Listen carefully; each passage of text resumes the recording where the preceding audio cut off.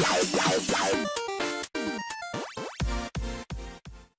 दोस्तों, एक बार फिर स्वागत है आप सबका आपके ही चैनल द फैक्ट आई में। आज फिर लोगों के बीच पहुँचे हुए हैं। डेरा सच्चा सौदा के अंदर एक रक्तदान शिविर लगा हुआ है, वहाँ जो ब्लड डोनर्स पहुँचे हैं, उनसे डायरेक्ट बातचीत करने वाले हैं किस तरह का एक्सपीरियंस रहा। हमारे साथ जो अभी जुड़े हुए हैं, ये दो सिस्टर्स हमारे साथ जुड़ी हुई हैं, जिन्होंने आज पहली बार ब्लड डोनेट किया है। इनसे बातचीत करते हैं किस तरह का एक्सपीरियंस रहा। क्या मोटिवेशन रही कि ये इस उम्र में आज ब्लड डोनेट करने यहाँ पहुँची हैं? हेलो मैम क्या नाम है आपका? मेरा नाम लवदीप कौर है। आपका मैम मेरा नाम हरमनदीप कौर है। आप देख सकते हैं दोस्तों इन्होंने अपना ब्लड डोनेशन का जो सर्टिफिकेट है वो भी लिया हुआ है। किसी तरह का कोई भी झूठ आपको नहीं दिखाया जा रहा है। एज अ प्रूफ आपको हम लोग यहाँ सर्टिफिकेट्स भी दिखा रहे हैं। लवदीप कौर।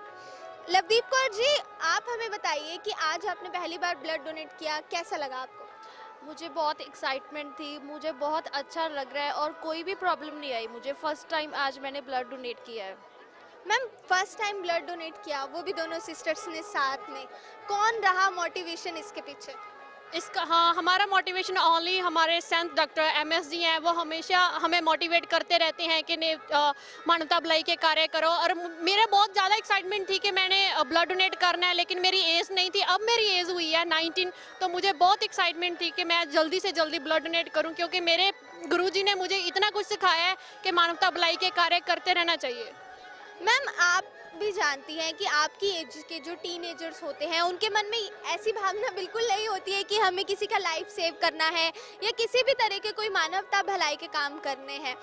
आपको क्या लगता है, आपकी इस सोच को बदलने में किसका सबसे ज़्यादा हाथ रहा है पेरेंट्स का या किसका हाथ रहा है? जैसे इन मॉडर्न एरा में हम देखते हैं कि यंगस्टर्स का ये बिल्कुल सोचना नहीं है कि हमें हेल्प करनी चाहिए और हमें काइंड हार्टेड बनना चाहिए। लेकिन हमारे गुरु जी ने डॉक्टर एम एस जी ने हमने इतना एक्साइटमेंट दिया हुआ है और इतना कुछ सिखाया है ना कि मतलब पूरा श्रेय आप गुरु जी को ही देंगे? हमारा पूरा जो भी क्रेडिट है वो हम only only doctor M S G. जी डॉक्टर एम एस जी को आपकी सिस्टर ने क्रेडिट दिया है। आप कितना सहमत हैं इनसे? हाँ जी, मैं 200 परसेंट सहमत हूँ इस बात से, क्योंकि हमारा जो परिवार है, शुरू से ही मतलब हम सतारह, अठारह साल हो गए, हम डेरा से जुड़े हुए हैं और हम के, जो भी हम अच्छी बातें सीख पाए हैं, हमारे मतलब पेरेंट्स ने सिखाई है, क्योंकि वो इस डेरा से जुड़े हुए थे। बचपन से ही हमको ये ही सीख सिखाई गई है कि अच्छे काम करने हैं, किसी का भी बुरा नहीं करना है, जितना हम किसी का कर सकते हैं। अगर हम, हमारे एक बॉटल मतलब डोनेट करने से किसी की जान बच सकती है तो मतलब ये हम ज़रूर करेंगे। हर कोशिश करेंगे जो भी हम कर सकते हैं हमारी लाइफ में। ओके okay, मैम आप भी जानती हैं कि समाज में सिर्फ़ एक रक्तदान की ज़रूरत नहीं है समाज में और भी बहुत सी बुराइयाँ हैं जो समाज को जकड़े हुए हैं। आपको क्या लगता है कि समाज की अन्य जो बुराइयाँ हैं उनको सुधारने में बाबा राम रहीम जी का कितना योगदान रहा है? डॉक्टर एम एस जी का हर एक फ़ील्ड में बहुत योगदान रहा है। ओनली रक्तदान रक्तदान का नहीं है सफ़ाई अभियान रक्तदान और कुल के कानून लड़की बचाओ ये सभी में हमारे only doctor M S G का ही पूरा हाथ रहा है। आपको क्या लगता है आज समाज की स्थिति जहाँ जा रही है उसको सुधारने में बाबा राम रहीम जी कितने अ, मतलब हेल्पफुल हो सकते हैं? अगर बाबा जी यहाँ होते तो कितना एक समाज अ, का रूप कुछ अलग होता उसके बारे में आपके क्या विचार? Actually doctor M S G ने हमें इतना कुछ सिखाया। अगर वो यहाँ पे होते ना तो आज जो है, इस- इससे डबल होता। लेकिन अब भी हम ज्यों के त्यों डटे हुए हैं और अब भी जो भी उनकी साथ संगत है, वो उनके रूल्स फॉलो कर रही हैं और मानवता भलाई के कार्य कर रही हैं।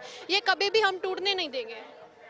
आप क्या कहना चाहेंगी मैम कि आज समाज को कितनी ज़रूरत है बाबा जी की?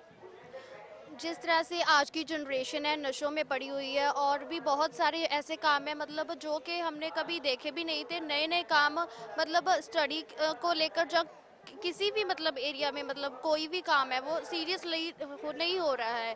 और गुरु को तो आप मतलब इस युग में जो बच्चे हैं, वो मानना ही नहीं चाहते हैं। उनके पेरेंट्स को वो तो कहना ही नहीं मानते हैं। मतलब हमें ये कोशिश करनी चाहिए कि जो आज की हमारी जनरेशन है, वो हमारे हाथों में है। अगर हम अच्छे काम काम करके उनको बचा सकते हैं, जितनी हमारी कोशिश है, वो हम ज़रूर देंगे उनमें। सर, इतना विश्वास है लोगों में आज भी बाबा राम रहीम जी के प्रति, इतनी दृढ़ता है कि हम देख सकते हैं कि दो बहनें आपस में शॉपिंग करते जाते मैंने देखी है, दो बहनें आपस में इकट्ठे ब्यूटी पार्लर मैंने जाते देखी है, लेकिन आज पहली बार दो बहनें एक साथ ब्लड डोनेट करते देखी है, वो भी आज उन्होंने पहली बार ब्लड डोनेट किया मिसाल है मैम आप दोनों समाज के लिए, और ये जो अपना अच्छा काम कर रही हैं, उसका पूरा का पूरा श्रेय बाबा राम रहीम जी को देना चाहती हैं। अब सवाल आपके लिए है सोचना आपने है कि क्या कारण होगा कि आज भी लोग बाबा राम रहीम जी को इतना फॉलो करते हैं। बाबा राम रहीम जी के नाम पर खून दान करना, किसी की ज़िंदगी बचाने के लिए किसी भी हद तक ये लोग जा सकते हैं। तो क्या कारण रहा होगा या क्या लोगों में जज्बा है बाबा राम रहीम जी के पीछे? तो आप आप सोचिए दोस्तों कि आपकी क्या विचार हैं? आपकी क्या धारणा है? हमारा ये सच देखने के बाद आप क्या सोचते हैं बाबा राम रहीम जी के बारे में? हमें ज़रूर बताएँ कमेंट बॉक्स में कमेंट करके और देखते रहें आपका ही चैनल द फैक्ट आई।